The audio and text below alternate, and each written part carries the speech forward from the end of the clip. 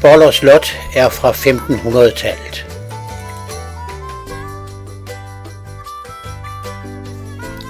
Slottet er mest kendt for, at Kirsten Munk boede her i en årrække.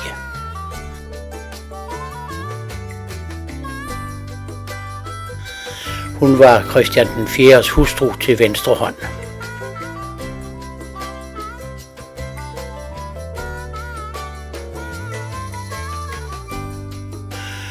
På grund af en mistanke om utroskab blev hun forvist fra hoffet og sendt til Boller.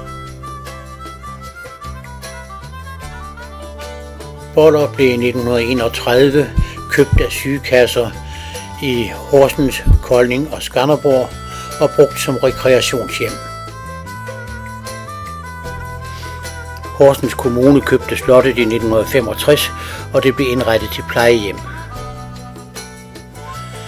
Plejehjemmet skal nu nedlægges, fordi det ikke er muligt at ombygge det, så det svarer til nutidens krav.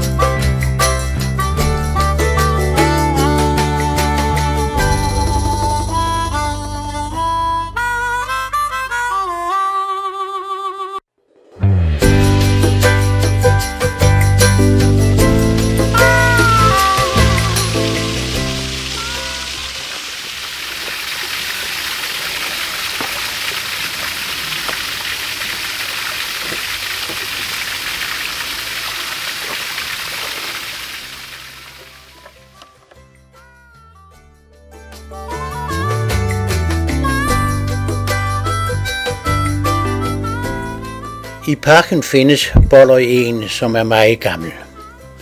Måske fra vikingetiden. Den bliver derfor også kaldt Vikinge-Egen.